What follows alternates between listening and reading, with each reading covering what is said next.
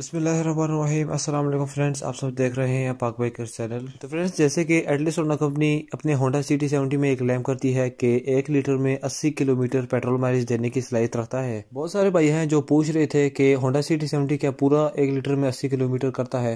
اور بہت سارے بھائی یہ بھی کہہ رہے تھے کہ ان کا سی ٹی سیونٹی ایک لیٹر میں اسی کلومیٹر نہیں کرتا۔ تو اس کا جواب یہ ہے کہ ایک سب سے پہلی بات تو یہ ہے کہ پاکستان کے اندر جو پیٹرول ہے وہ بالکل ہائی کوالٹی کا نہیں ہے یعنی پورا خالص پیٹرول نہیں ہے، اس میں کافی ملاوٹ کی ہوتی ہے۔ کیونکہ اگر پیٹرول پوری طرح سے خالص ہوگا تو بائک کی پک اپ بھی اچھی ہوگی اور اس کے ساتھ ساتھ پیٹرول مائلیج بھی اچھی ہوگی۔ اور ہمارے پاکستان میں پیٹرول زیادہ تر علاقوں میں خالص نہیں ہوتا۔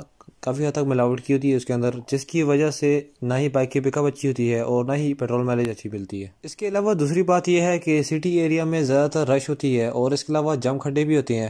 بار بار بائک کو بریک لگانی، پھر گیئر ڈالنا، پھر بریک لگانی، تو اس طرح سے پیٹرول مائلیج بائک کی کافی حد تک کم ہو جاتی ہے۔ اور اگر ایک سٹریٹ پاتھ ہو، نہ ہی کوئی جمپ ہو، نہ ہی کوئی کھڈا ہو، تو اس پہ میرے خیال سے ایک لیٹر میں ستر کلومیٹر آپ کو ہونڈا سٹی سیونٹی دے دے گی۔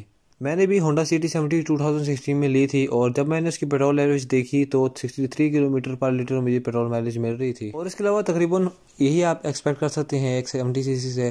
اور اس کے علاوہ ہونڈا سی ٹی سیونٹی جو ہے وہ کافی حد تک باقی بائکس کے مقابلے میں ہمیں اچھی پیٹرول مائلیج دیتی ہے۔ کیونکہ ایک تو اس کا انجن جو ہے وہ seventy two centi metre cube ہے، تھوڑا سا چھوٹا ہے، جس کی وجہ سے ہمیں پیٹرول مائلیج اچھی ملتی ہے، لیکن پک تھوڑی بہت کم ملتی ہے۔ تو فرینڈز یہی تھی میری آج کی ویڈیو اس کے علاوہ ہونڈا سی ٹی سیونٹی باقی بائکس کے مقابلے میں ہمیں بہت اچھی پیٹرول مائلج دیتی ہے۔ تو آپ سب کو آج کی میری ویڈیو کیسی لگی؟ اگر پسند آئی تو لائک کریں۔